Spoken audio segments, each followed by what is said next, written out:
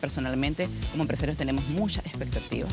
Esto viene a dinamizar el turismo, otras actividades como la agricultura, la pesca sobre todo, ya que somos una comunidad bastante pesquera.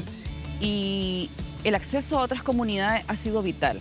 Tenemos las otras vías de acceso. Una vía muy importante es que no es que se abrió eh, eh, como una nueva vía, sino que se rehabilitó. Es la carretera que hace enlace de la zona sur costera hacia la frontera de Peña Blanca.